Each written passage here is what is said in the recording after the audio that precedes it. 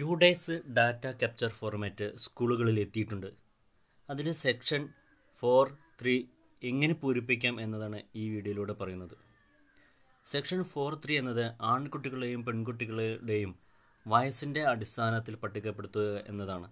നമുക്കറിയാം ഒരു ക്ലാസ്സിൽ തന്നെ വ്യത്യസ്ത വയസ്സുള്ള ധാരാളം കുട്ടികളുണ്ടായിരിക്കും സ്കൂളിൽ എത്ര കുട്ടികളുണ്ടെങ്കിലും ഇത് സമ്പൂർണയിലൂടെ നമുക്ക് എളുപ്പത്തിൽ ചെയ്യാൻ കഴിയും. വീഡിയോയിലേക്ക് പോകാം. സമ്പൂർണയുടെ ഡാഷ്ബോർഡാണ് ഇപ്പോൾ മുന്നിൽ കാണുന്നത്. ഇതിൽ റിപ്പോർട്ട് ക്ലിക്ക് ചെയ്യുക. റിപ്പോർട്ട്സ് ക്ലിക്ക് ചെയ്തിട്ട് അതിൽ റിപ്പോർട്ട് ഉണ്ടാക്കുന്നത് നിങ്ങൾക്ക് എല്ലാവർക്കും അറിയാമെന്ന് കരുതുന്നു. ഒരിക്കൽ കൂടി എങ്ങനെയാണ് ഇതിനു വേണ്ടി റിപ്പോർട്ട് ക്രിയേറ്റ് ചെയ്യുക എന്ന് സൂചിപ്പിക്കാം. റിപ്പോർട്ട് ക്ലിക്ക് ചെയ്തു. ശേഷം മുകളിൽ റിപ്പോർട്ട് നെയിം. നമ്മൾ എന്ത് ഏത് ക്ലാസ്സിന്റെയാണോ ആ റിപ്പോർട്ടിന്റെ ഒരു പേര് നമുക്ക് നൽകാം.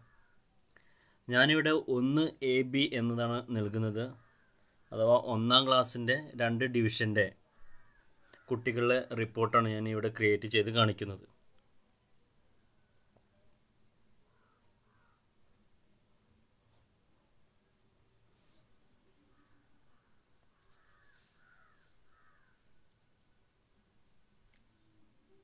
അവിടെ നിങ്ങൾക്ക് അനുയോജ്യമായ സ്കൂളിൽ മുഴുവൻ കുട്ടികളാണെങ്കിൽ നിങ്ങൾക്ക് അതിനുയോജ്യമായ പേര് നിങ്ങൾക്ക് നൽകാവുന്നതാണ്. ഇതുപോലെ ഏത് ക്ലാസ്സിന്റെ വേണമെങ്കിൽ നമുക്ക് തരം തിരിച്ചെടുക്കാവുന്നതാണ്. അപ്പോൾ ഏത് ക്ലാസ്സാണോ നിങ്ങൾക്ക് ആവശ്യം ആ ക്ലാസ്സിന്റെ ഹെഡിങ് നിങ്ങൾക്ക് കൂടുതൽ റിപ്പോർട്ടുകൾ അവിടെ വന്നു കഴിഞ്ഞാൽ തിരഞ്ഞെടുക്കാൻ സൗകര്യത്തിന് അനുയോജ്യമായ പേര് നിങ്ങൾക്ക് നൽകാവുന്നതാണ്. ഇവിടെ ഒന്ന് എ ബി എന്ന് പേരാണ് ഞാൻ നൽകിയിട്ടുള്ളത്. ഇനി ഇതിൽ ക്ലാസ് ആൻഡ് ഡിവിഷൻ എന്നതാണ് ഇവിടെ സെലക്ട് ചെയ്യേണ്ടത്. ഇവിടെ ക്ലാസ് സെലക്ട് ചെയ്തു. അതിനുശേഷം ഡിവിഷൻ സെലക്ട് ചെയ്തു.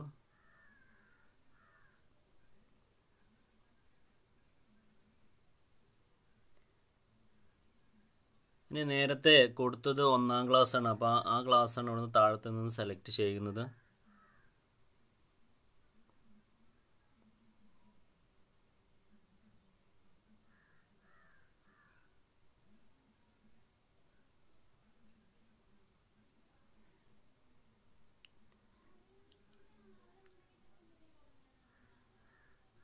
രണ്ടായിരത്തി ഇരുപത്തൊന്ന് ഇരുപത്തിരണ്ട് വർഷത്തിലെ കുട്ടികളെ സെലക്ട് ചെയ്തു.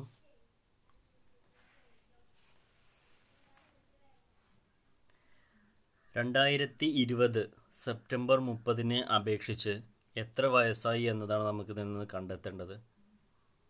ഇവിടെ ഫുൾ നെയിം എന്നത് സെലക്ട് ചെയ്തു.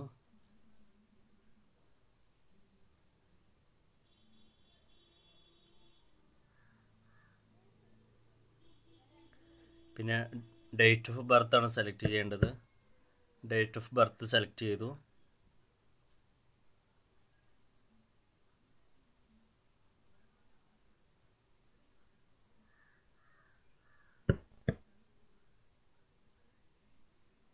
ശേഷം ജെൻഡർ ഈ മൂന്ന് കാര്യങ്ങൾ മാത്രമാണ് ഈ ക്രമത്തിലാണ് നമ്മൾ ഇവിടെ സെലക്ട് ചെയ്യേണ്ടത്. Name date of birth gender എന്നുള്ള. ഈ മൂന്ന് രീതിയിൽ നമ്മളാണ് നമ്മൾ സെലക്ട് ചെയ്ത ശേഷം സേവ് കൊടുക്കുക.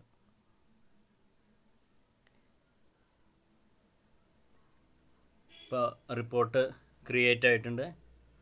ഏറ്റവും താഴെ നമുക്ക് ആ റിപ്പോർട്ട് കാണാൻ കഴിയും.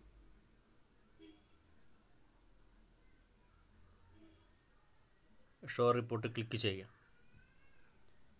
നമ്മൾ ക്രിയേറ്റ് ചെയ്ത റിപ്പോർട്ടാണ് ഇപ്പോൾ ഓപ്പൺ ആയിട്ടുള്ളത്. ഇതിനെ ഈ മൂന്ന് കാര്യങ്ങൾ വന്നിട്ടുണ്ട്.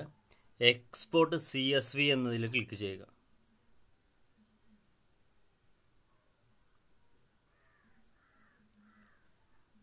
കൂടുതൽ കുട്ടികളുണ്ടെങ്കിൽ നമുക്കറിയാം ഒരു പേജിൽ മുപ്പത് പേരാണ്ടാവുക. രണ്ടാമതിൽ ക്ലിക്ക് ചെയ്താൽ അടുത്ത പേജിൽ കുട്ടികളെ കാണാം. അങ്ങനെ മുഴുവൻ കുട്ടികളും അവിടെ വന്നിട്ടുണ്ടായിരിക്കും. സെക്ഷൻ എക്സ്പോർട്ട് ക്ലിക്ക് ചെയ്യുക. എക്സ്പോർട്ട് സി എസ് വി എന്ന് ക്ലിക്ക് ചെയ്ത് കഴിഞ്ഞാൽ ഇതുപോലൊരു പേജ് വരിക. നമുക്ക് വേണമെങ്കിൽ അതിൽ ഓപ്പൺ കൊടുത്താൽ മതി. അല്ലെങ്കിൽ സേവ് ചെയ്യണമെങ്കിൽ സേവ് ഫയൽ എന്ന് പറഞ്ഞിട്ട് ആ ഭാഗത്ത് ഓപ്പൺ ചെയ്താലും കുഴപ്പമില്ല. രണ്ടായാലും നമുക്കത് ചെയ്യാൻ കഴിയുന്നതാണ്. ഓക്കെ നൽകാം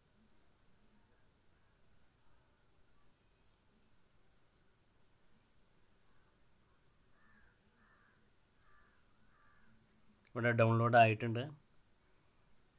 അതിൽ ഒന്ന് എൻ ബി സെലക്ട് ചെയ്യുക. ഇപ്പോൾ ലിബർ ഓഫീസിൽ ആണ് അത് ഓപ്പൺ ആവുന്നുണ്ടാവുക. ലിബർ ഓഫീസ് കാൽക്കിൽ അതിൽ ഓപ്പൺ ആയിട്ടുണ്ട്. നേരത്തെ പറഞ്ഞ രണ്ട് ഡി മൂന്ന് ഡീറ്റെയിൽ അവിടെ വന്നിട്ടുണ്ട്. ഇനി ഇവിടെയാണ് നമ്മൾ അത് കാൽക്കുലേഷൻ നടത്തുന്നത്. എങ്ങനെയാണെന്ന് പ്രത്യേകം ശ്രദ്ധിക്കുക. ഫയൽ മിസ്സാവാതിരിക്കുക ഇപ്പോൾ തന്നെ നമുക്ക് ഫയലിനെ എന്ത് ചെയ്യാം? സേവ് ചെയ്ത് വയ്ക്കുക സേവ് ആസ് ക്ലിക്ക് ചെയ്യുക.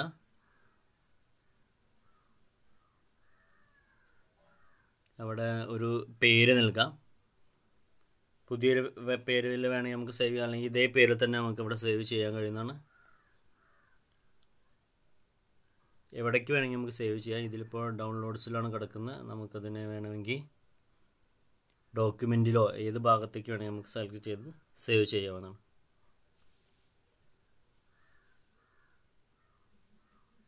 ഒന്ന് എ ബി ന്യൂ എന്ന പേരാണ് ഞാനിവിടെ നൽകിയിട്ടുള്ളത്.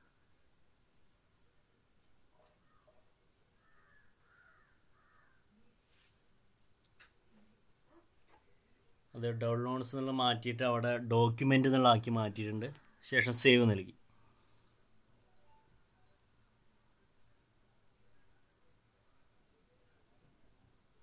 ഇപ്പോൾ ഫയൽ അവിടെ സേവ് ആയിട്ട് നിൽക്കുന്നുണ്ടാവും. അതിൽ നമുക്ക് ബാക്കി എഡിറ്റിംഗ് ഒക്കെ നമുക്കതിൽ നടത്താൻ കഴിയുന്നതാണ്.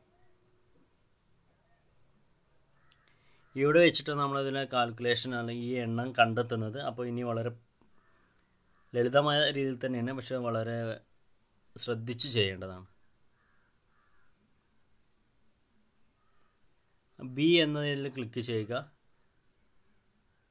മൗസിന്റെ റൈറ്റ് ബട്ടൺ അമർത്തി കഴിഞ്ഞാൽ നമുക്ക് പുതിയ കോളം ഇൻസേർട്ട് ചെയ്യാൻ പറ്റും. ഇൻസേർട്ട് കോളം റൈറ്റ് റൈറ്റിൽ പുതിയൊരു സി എന്ന ഭാഗത്ത് ഒരു കോളം വന്നിട്ടുണ്ട്. അതുപോലെ ഒരു കോളം കൂടി രണ്ട് പുതിയ കോളം നമുക്ക് ആവശ്യമുണ്ട്.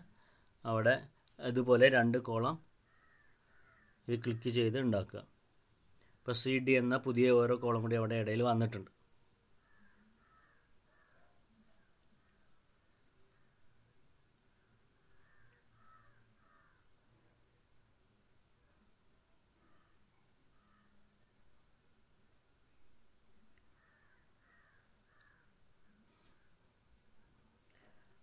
അടുത്തത് ഡേറ്റ് ഓഫ് ബർത്ത് എന്നതിന് നേരെ ഇപ്പുറത്ത് തന്നെ ഈ സിയുടെ താഴെ അതിലൊരു ഹെഡിങ് നമുക്ക് കൊടുക്കേണ്ടതായിട്ടുണ്ട്.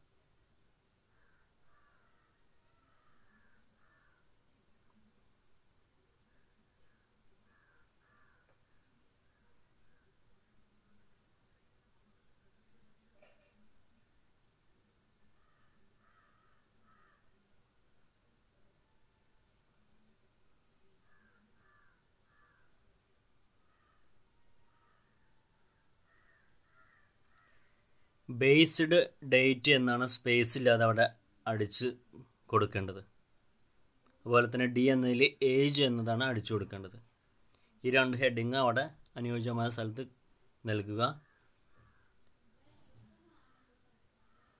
ബേസ്ഡ് ഡേറ്റ് എന്നതിന്റെ നേരെ താഴത്തെ കള്ളിയിൽ ക്ലിക്ക് ചെയ്യുക. ശേഷം ഇവിടെ ഇടതുവശത്ത്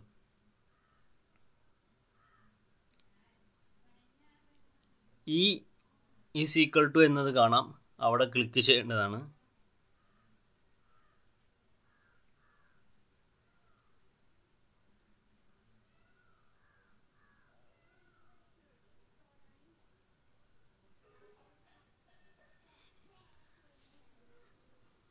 ക്ഷമിക്കണം അതിനു മുമ്പ് അവിടെ നമുക്ക് ഏത് ഡേറ്റ് ഓഫ് ബർത്തിനെ ബേസ് ചെയ്തിട്ടാന്നുള്ള ഞാൻ നേരത്തെ സൂചിപ്പിച്ചിട്ടുണ്ടായിരുന്നു.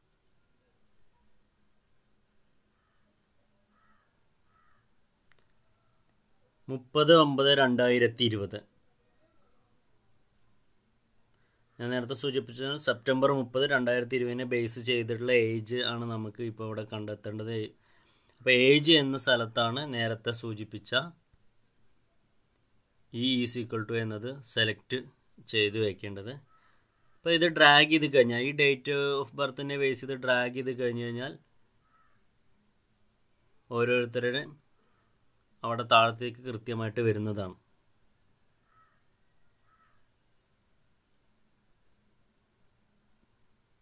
നേരെ താഴത്തേക്ക് മുഴുവനായിട്ട് ഡ്രാഗ് ചെയ്യാം.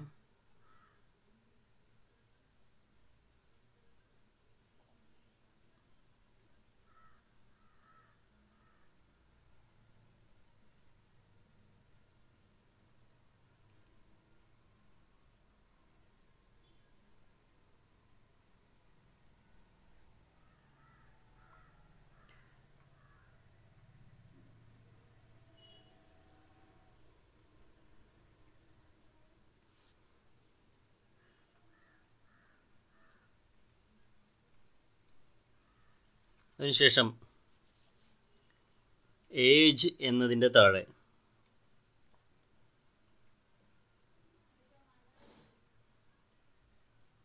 നേരത്തെ നമ്മൾ ആ ഇയർ അടിച്ചു കൊടുത്തതിന്റെ അതേ ഭാഗത്തായിട്ട് ഏജ് എന്നതിന്റെ താഴെയാണ് ഈ സീക്വൽ ടു എന്നത് ക്ലിക്ക് ചെയ്യേണ്ടത്. നേരത്തെ ഡാറ്റാ ബേസ്ഡ് ബേസ്ഡ് ഡേറ്റ് എന്നതിന്റെ അവിടെ പറഞ്ഞത് അത് മാറി പറഞ്ഞതാണ്. ഇവിടെയാണ് ഏജിന്റെ താഴെയാണ് നൽകേണ്ടത്. അവിടെ ക്ലിക്ക് ചെയ്താൽ ഈസ് സീക്വൽ ടു എന്ന ചിഹ്നം അവിടെ താഴത്തേക്ക് ഏജിന്റെ താഴെ വന്ന് കിടക്കുന്നതാണ്.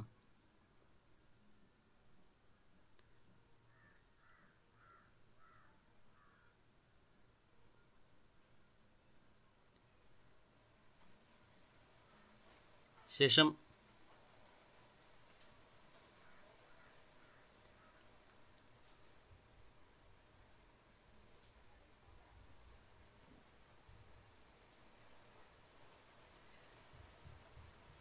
ഡേറ്റഡ് ഇഫ് എന്ന് അവിടെ അടിച്ചു കൊടുക്കുക ആ ഈസിക്വൾ ടു തന്നെ നേരെ ഡേറ്റഡ് ഇഫ് എന്ന് അടിച്ചു കൊടുക്കുക. പിന്നെ ഒരു ബ്രാക്കറ്റ് നൽകണം. ശേഷം ബിയിലെ മൂന്നാമത്തെ ലൈന് ക്ലിക്ക് ചെയ്യുക. ഡെസ്ക്ടോപ്പ് ബർത്ത് എന്നതിന് നേരെ താഴെയുള്ളത്. അതിനെ ബേസ് ചെയ്തിട്ടാണ് നമ്മൾ അവിടെ ഏജ് സെലക്ട് ചെയ്യുന്നത് അവിടെ ഒന്ന് ക്ലിക്ക് ചെയ്യുക.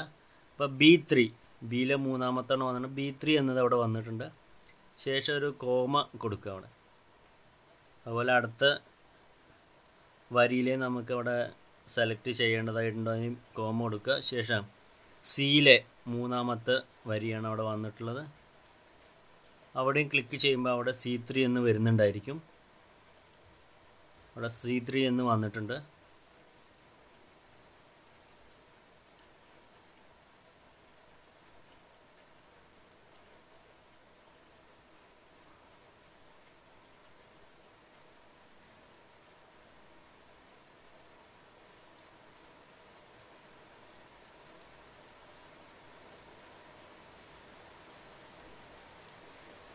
ശേഷം ഒരു ഡബിൾ ഇൻവെർട്ടർ കോമ അവിടെ നൽകുക. സി ത്രീ കഴിഞ്ഞൊരു കോമ വേണം. അത് കഴിഞ്ഞാൽ ഡബിൾ ഇൻവെർട്ടർ കോമ കഴിഞ്ഞിട്ട് ഇയർ എന്നതിനെ സൂചിപ്പിക്കുന്ന വൈ എന്ന് കൊടുക്കുക. ശേഷം വീണ്ടും ഡബിൾ ഇൻവെർട്ടർ കോമ അവിടെ അടിച്ചു കൊടുക്കുക. ഇതിന്റെ ഇടയിലൊന്നും ഒരു സ്ഥലത്ത് സ്പേസ് ഇല്ല എന്നത് പ്രത്യേകം ശ്രദ്ധിക്കണം. നമ്മളവിടെ നൽകിയത് ബി ത്രീ അവിടെ പോയി ക്ലിക്ക് ചെയ്തു. Comma to C three click ചെയ്തു. കോമ ടു പിന്നെ ഡബിൾ ഇൻവെർട്ടർ കോമ പിന്നെ വൈ നൽകി ഡബിൾ ഇൻവെർട്ടർ കോമ പിന്നെ ബ്രാക്കറ്റ് ക്ലോസ് ചെയ്യണം ചെയ്യും. അവിടെ എന്റർ അടിച്ചു കഴിഞ്ഞാൽ ആ നേരത്തെ നൽകിയ ഡേറ്റിനെ ബേസ് ചെയ്ത് ആ കുട്ടിയുടെ വയസ്സാണ് അവിടെ കാണിക്കുന്നത്. ആറ് എന്നത് അവിടെ വന്നിട്ടുണ്ട്. ആ കുട്ടിക്കിപ്പോൾ സെപ്റ്റംബർ മുപ്പതിനെ ബേസ് ചെയ്ത് നോക്കുമ്പോൾ ആറ് വയസ്സാണ്. അതുപോലെ ആ അവിടെ പിടിച്ച് താഴത്തേക്ക് ഡ്രാഗ് ചെയ്ത് കഴിഞ്ഞാൽ എല്ലാ കുട്ടികളുടെയും വയസ്സ് ഇതുപോലെ നമുക്കവിടെ ലഭിക്കുന്നത്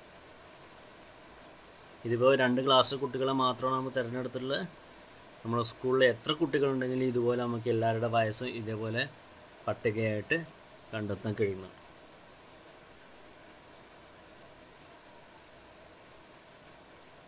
നമുക്ക് ഏറ്റവും പ്രധാനപ്പെട്ട ഒരു ഭാഗം കഴിഞ്ഞിട്ടുണ്ട്. കാരണം എല്ലാ കുട്ടികളെയും വയസ്സ് നമ്മൾ കണ്ടെത്തിയിട്ടുണ്ട്. ഇത് ആൺകുട്ടികൾ എത്ര പേര് ആറ് വയസ്സുള്ള എത്ര ആൺകുട്ടികളുണ്ട് എത്ര പെൺകുട്ടികളുണ്ട്? ഏഴ് വയസ്സുള്ള എത്ര ആൺകുട്ടികളുണ്ട് പെൺകുട്ടികളുണ്ട് എന്നത് ഈ ക്ലാസ്സിനെ ബേസ് ചെയ്ത് കണ്ടെത്തേണ്ടതായിട്ടുണ്ട്. അതുപോലെ എല്ലാ വയസ്സിന്റെയും സ്കൂളിലെ എല്ലാ കുട്ടികളെയും കണ്ടെത്തണം നമുക്ക്. അപ്പോൾ അതെങ്ങനെയെന്ന് നമുക്ക് നോക്കാം.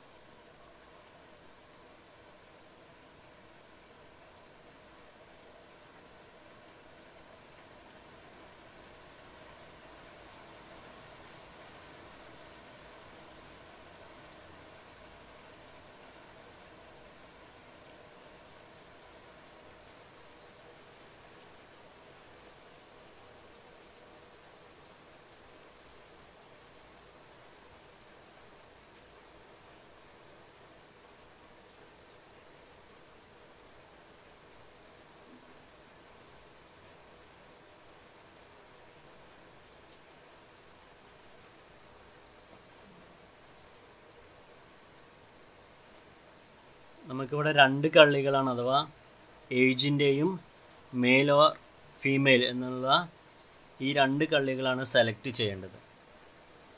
നമുക്ക് ആവശ്യം മൊത്തം വയസ്സും അതുപോലെ ആൺ ആ വയസ്സിന് ആൺകുട്ടികൾ പെൺകുട്ടികൾ എന്ന തരംതിരിച്ച കണക്കാണ് നമുക്ക് കണ്ടെത്തേണ്ടത്. അതിന് ഈ രണ്ട് കള്ളികളാണ് നമുക്ക് സെലക്ട് ചെയ്യേണ്ടത്. അത് രണ്ടും സെലക്ട് ചെയ്യുക.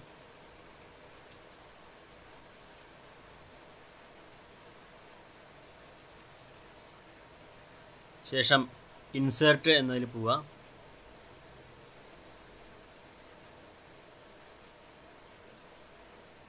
അതിൽ പൈവോട്ട് ടേബിൾ എന്നതാണ് സെലക്ട് ചെയ്യേണ്ടത്.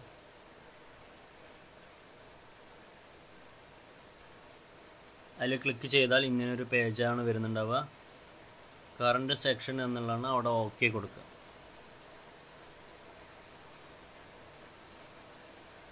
അപ്പോൾ ടേബിളിന്റെ ലേ ഔട്ടാണ് ഇപ്പോൾ നമ്മുടെ മുൻപിൽ വന്നിട്ടുള്ളത്. ഇനി ഇതിലാണ് ചെയ്യേണ്ടത് മറ്റു കാര്യങ്ങൾ. അപ്പോൾ വളരെ സിമ്പിളായിട്ട് നമുക്ക് ചെയ്യാൻ കഴിയുന്നതാണ്. പ്രത്യേകം ഒന്ന് ശ്രദ്ധിക്കണം എന്ന് മാത്രം.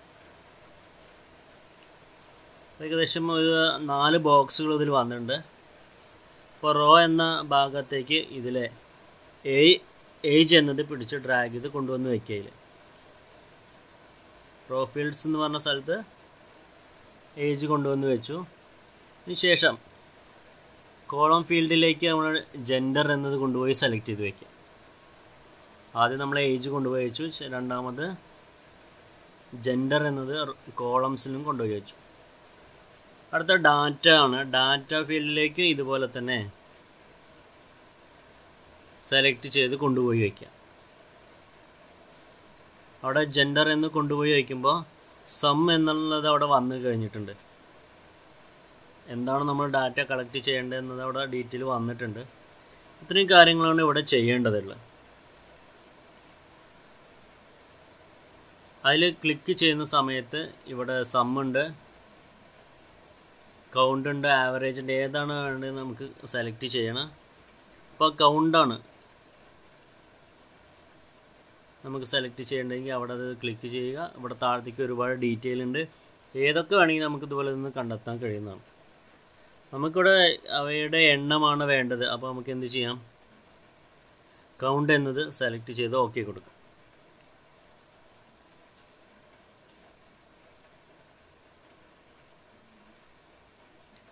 അതിനുശേഷം ഓക്കെ എന്ന് നൽകാം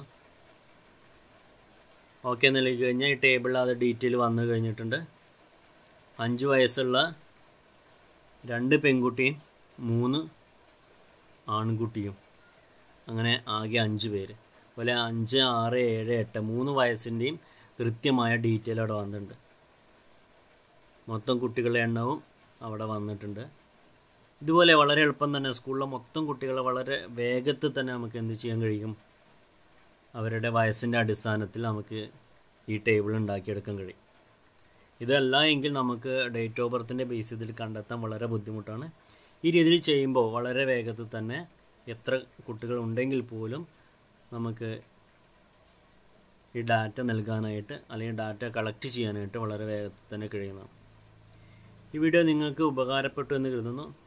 മറ്റു സ്കൂളുകളിലെ കൂട്ടുകാർക്കും ഇത് അയച്ചു കൊടുത്ത് ഏവർക്കും പെട്ടെന്ന് തന്നെ ഈ ഡാറ്റ കളക്ട് ചെയ്യാൻ സഹായിക്കുക. ഈ ചാനൽ ആദ്യമായാണ് കാണുന്നതെങ്കിൽ ചാനൽ സബ്സ്ക്രൈബ് ചെയ്യുക വീഡിയോ ഷെയർ ചെയ്യുക. വീഡിയോ കണ്ട എല്ലാവർക്കും നന്ദി. നമസ്കാരം.